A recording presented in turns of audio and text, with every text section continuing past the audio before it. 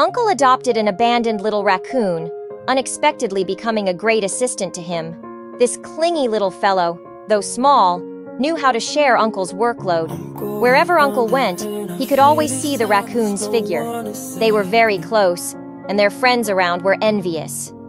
The raccoon often liked to stick to Uncle, closely following him when he worked. It provided assistance on the farm as well.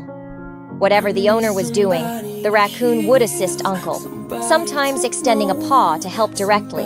When they returned home, the little fellow would obediently follow the owner like a well behaved baby, sleeping on Uncle when tired. As it grew up, Uncle often took it fishing during leisure time, even customizing a special seat for the raccoon. Gradually, as it grew, it started accompanying Uncle to the construction site every day, becoming Uncle's little helper. The daily companionship with Uncle was very heartwarming. Is your raccoon at